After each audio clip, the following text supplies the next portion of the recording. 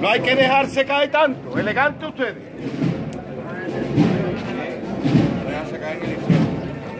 Así nada más.